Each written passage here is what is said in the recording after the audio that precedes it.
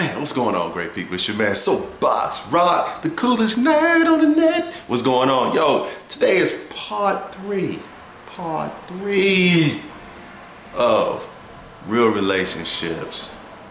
Start off as business before pleasure, right? So anyway, I'm gonna jump right into this. Last video I was talking about, you know, how to overcome situations when one partner is expanding, another partner is contracting, right?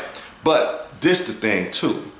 You never want to start your relationship off until, until all the, the malarkey and the BS has kind of quelled down and evened out for you.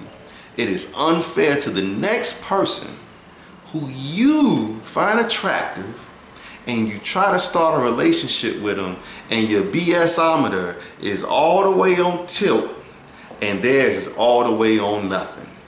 Because you're bringing your stuff to somebody else's world, and that's not fair to them, and it's not fair to you. Get rid of all your stuff first before you introduce somebody into your life.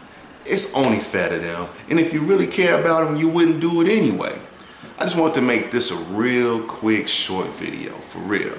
Man, quell all the BS in your life before you introduce somebody in. That shows you care, that shows you're mature, it shows you're intelligent. That's not to say you can't build a friendship while you're releasing all these, these issues and situations. But what it does say, hey, I love me enough to not introduce my problems to you.